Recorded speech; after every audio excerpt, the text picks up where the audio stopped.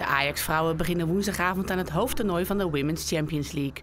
Als een van de 32 ploegen in de knock-outfase treft de landskampioen het Italiaanse Brescia. Voor Ajax en de meeste speelsters wordt dit het eerste echte optreden in het Europese toernooi. Sowieso dus een historisch moment. Voor mij is het ook mijn eerste keer, dus ik vind het wel heel spannend, maar ik heb er vooral ook heel veel zin in. Ehm, ja, het is allemaal nieuw, dus ik ben ook benieuwd wat het allemaal met zich meebrengt. Waarschijnlijk andere wedstrijdspanning, dus dat is allemaal heel leuk. Ik ben erg tevreden over de voorbereiding en over de afgelopen dagen. Dus ik heb eigenlijk alle vertrouwen in en er zal morgen wat extra spanning komen omdat het wedstrijddag is. Maar volgens mij zijn we goed genoeg voorbereid. Hoe hebben jullie deze wedstrijd benaderd de afgelopen dagen, zeg maar?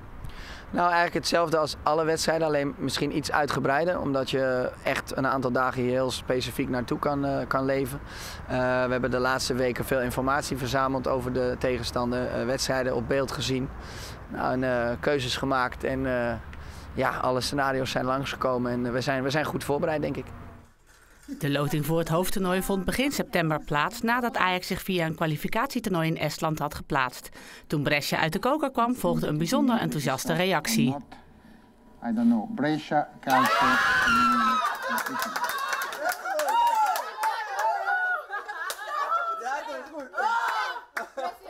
De loting was vooral omdat we op dat moment, dat, wil ik wel in de goede context plaatsen, op dat moment ook alle echte topploegen hadden kunnen loten. Dus vandaar was de opluchting.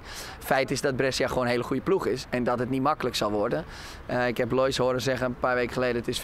Uh, eh, daar sluit ik me bij aan. Het is gewoon een goede ploeg, vooral in Italië. Volgens mij hebben ze niet heel veel druk in, uh, in de wedstrijden van de competitie. Dus ze zijn daar wel echt een soort van grootmacht. Um, ze hebben nu de afgelopen ja, Coppa Italia, zeg maar de bekerwinnaar tegen de kampioen, hebben ze ook met 4-1 gewonnen. En diegene speelt ook Champions League, dus dat getuigt gewoon van een goede, goede ploeg. Dus uh, ja, het wordt gewoon een lastige wedstrijd. Nu de Champions League voor het eerst naar de toekomst komt, hopen de Ajax-vrouwen op een memorabele avond. Wat Nihon betreft lijkt het qua sfeer woensdag op een wedstrijd van vijf jaar geleden. Ik heb natuurlijk met een aantal meiden de eerste wedstrijd ooit hier meegemaakt.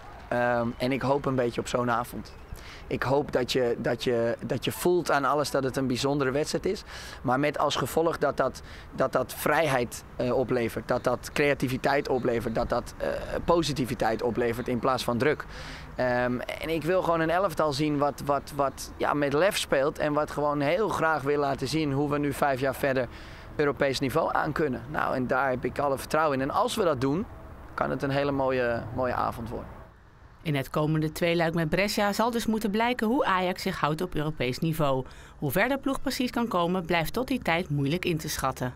Sowieso de kwartfinale halen zou wel echt, uh, echt top zijn. Uh, natuurlijk moeten we eerst deze twee wedstrijden winnen, want je moet het wel wedstrijd per wedstrijd bekijken. Want het is tenslotte de eerste keer, dus we weten niet zo goed wat we moeten verwachten. En ja, je moet altijd een beetje geluk hebben met de loting. Dus uh, ja, je kan niet echt zeggen van oké, we gaan dit doen. Want stel je loot de eerste wedstrijd Lyon, natuurlijk kan je van ze winnen. Maar het is natuurlijk een stuk lastiger. De doelstelling is om te evenaren wat Twente de afgelopen jaren heeft gedaan. En dat is in ieder geval de volgende ronde halen. Dus de, de laatste 16 halen. En uiteindelijk hoop je natuurlijk als eerste Nederlandse ploeg de kwartfinale te halen. Maar dan moet je twee rondes winnen. En dat is weer loading afhankelijk. Dus laten we vooral niet te ver vooruit kijken. Bezig zijn met morgen, dat is het belangrijkste. Morgen moeten we een goed visitekaartje afgeven. En dan zien we wel waar het toe leidt.